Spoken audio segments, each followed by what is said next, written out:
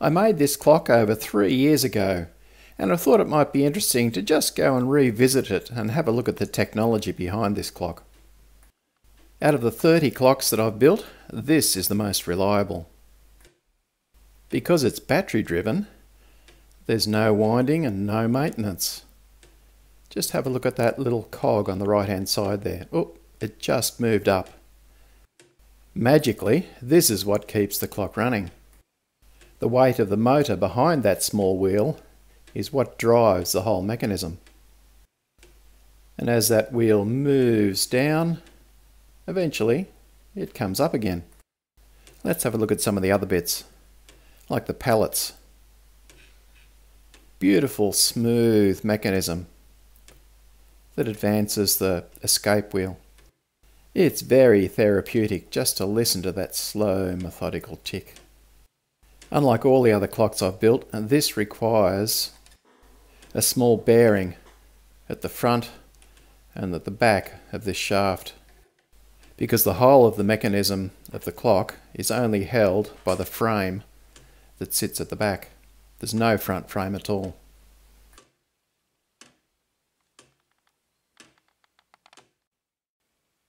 The main gearing mechanism turns the minute hand once every hour, but the hour hand is turned by this unique daisy type arrangement.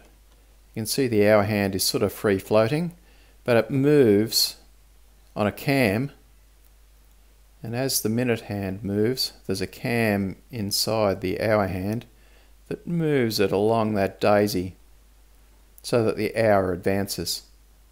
Very ingenious.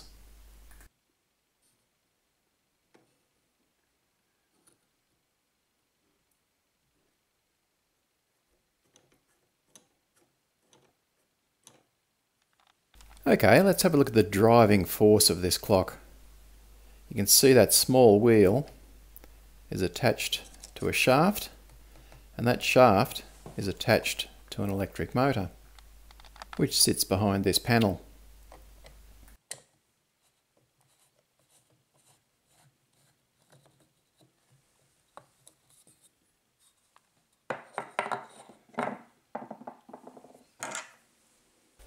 And behind this little cover is where the magic happens.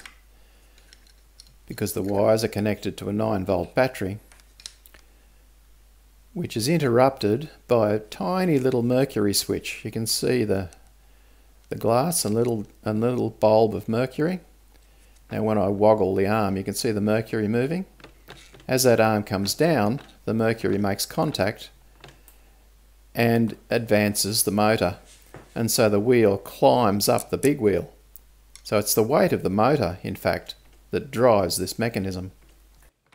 The downward force of the stopped motor turns that big wheel. This seems like complete magic to me. And Clayton Boyer, who designed this clock, is an absolute genius.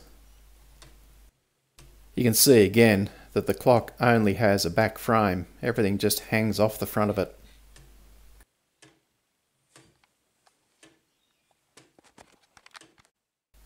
This clock runs on such a small amount of weight provided by the motor because, because it has a balance pendulum. There's weight on the top and the bottom of this pendulum as it pivots around its axis. You can see the uh, conventional pendulum on one of my other clocks. It just pivots from the top and all the weight is on the bottom.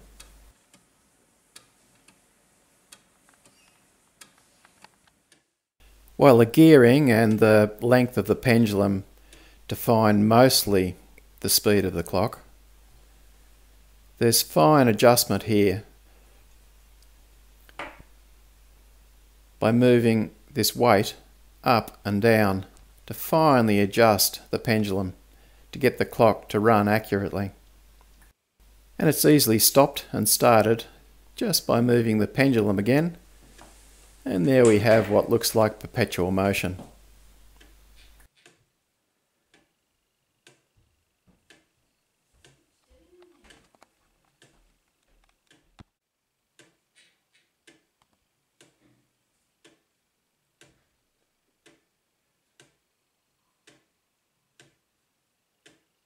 The noise from the little electric motor really is hardly discernible.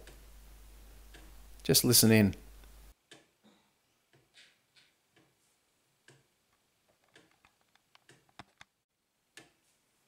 The dial with the hour daisy is just free floating.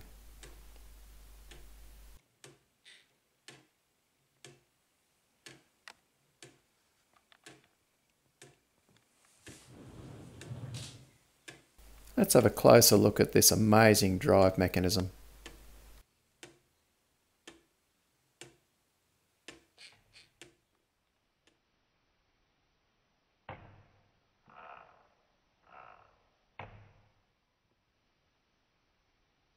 This clock is called Swing Time and is designed by Clayton Boyer.